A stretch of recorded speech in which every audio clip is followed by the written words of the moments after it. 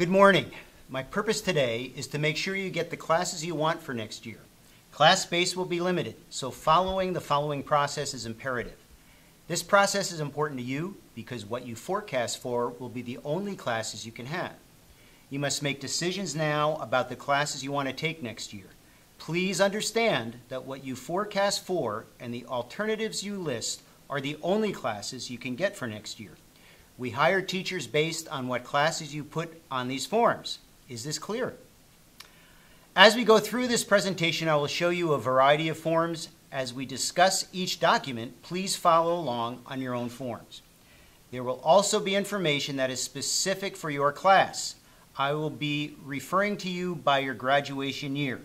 Remember that we are forecasting for your classes for next year, that is 2012-13. Before we get started, teachers, please make sure your students have the following pages. One, a yellow course catalog. Two, each grade's forms by color. The forecast form with courses needing teacher's approval application courses on the back. Class of 2015, your color is salmon. Class of 2014, yours is green. And class of 2013, it is blue. I will give you some time while we make sure all students have the appropriate forms.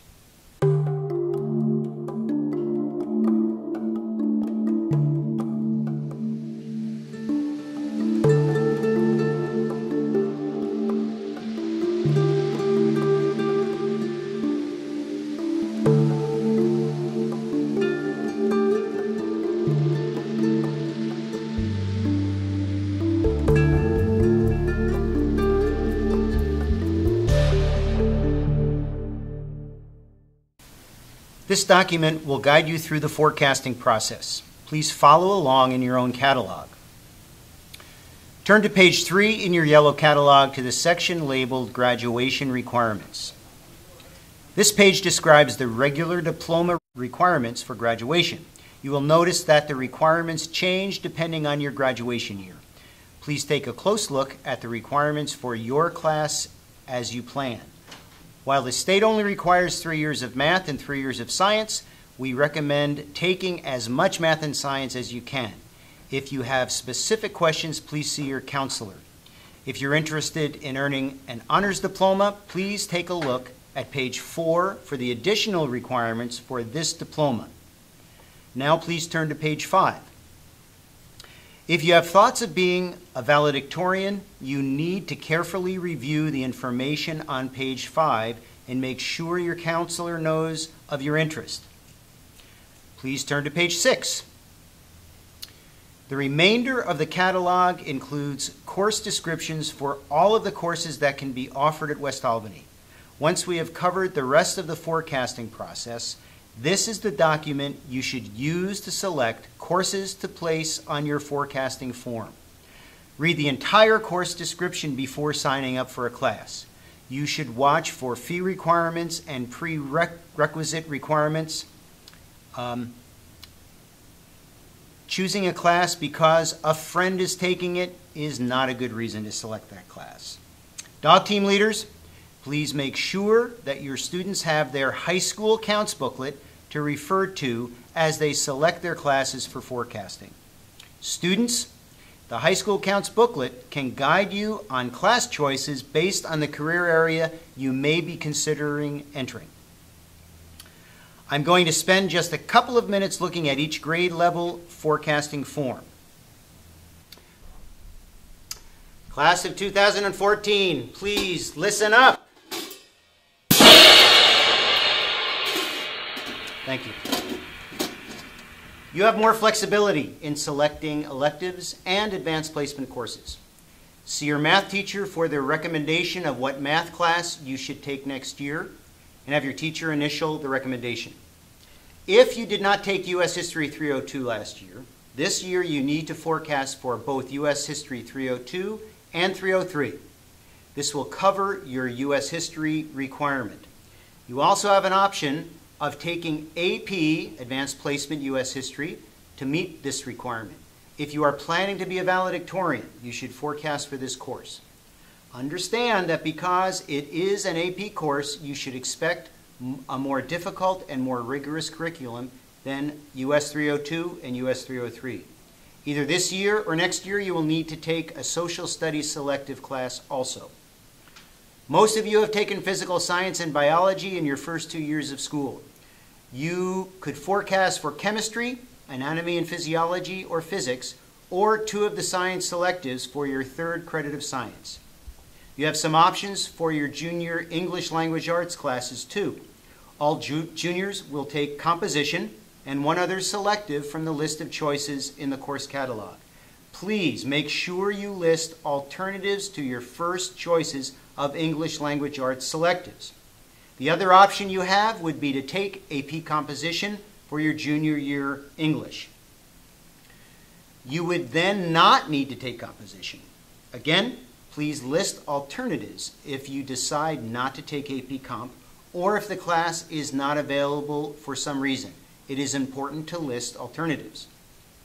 You must fill in every box on the form. Please do not forecast for more than two open periods. You must forecast for a minimum of six classes. If you plan to have an open period, you must have parent permission each semester, and it is not guaranteed. We're including a place for your parent's signature at the bottom of the forecasting form that will cover okaying both open periods and course selections. Additionally, your class has to pass the Oaks math, reading, and writing tests in order to graduate. If you did not pass these tests, an essential math, reading, or writing skills class may be added to your schedule. All students, please listen. I don't think I have to do this again. We have courses that require teachers' approval by signature. Oh, I did it anyway. Or application only. Please see the reverse side of the forecasting form for a list of these courses. If you are attempting to get a class that requires an application or are trying out for cheerleading or the dance team, there are some additional steps for you to complete. Please go to the teacher to get the application required or to get information about the requirements for tryouts. The completed applications must be turned in with your forecasting form no later than March 15th. Please write down this date. All forms, including applications, are due March 15th to your dog team leader. On your forecasting form, list the class you are applying for or a class that involves tryouts or selections in the elective box number 5 or number 6 as one of your alternatives on the bottom of the form. In the if approved drop box, please indicate which elective from the top of your page you would drop if you are selected for the application or tryout class. Teachers will review applications and will have uh, made their decisions final later on this school year. So, here is your assignment. Using the course catalog, complete your forecasting form and turn it in no later than March 15th to your dog team leader.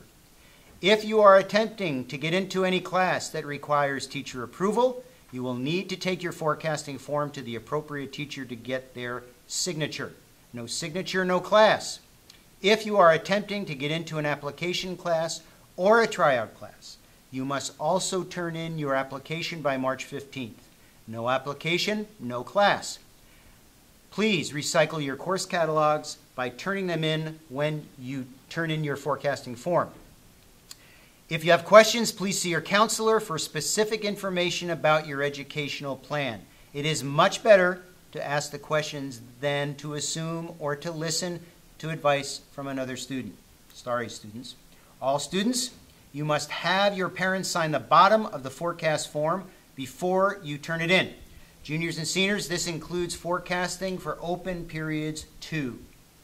All boxes must be filled in on the forecasting form. Remember to list alternative electives in the bottom section of this form in case the electives you wish to take is, are canceled or won't fit into your schedule. Remember that the electives listed on the bottom of the form must be different from the ones listed on the top section. Again, all forecasting forms are due no later than March 15th to your dog team leader. Please see your counselor if you have any individual questions. You have until 11:20 a.m. to begin the process of completing your forecasting. All students are to stay in their class until 11:20 a.m.